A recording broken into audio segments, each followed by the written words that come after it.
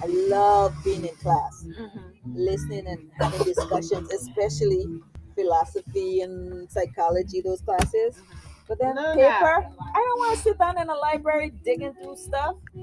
I love research. Wow, that's fireplace is actually really cool. For that, I don't want to do that though. Wait until it gets bigger?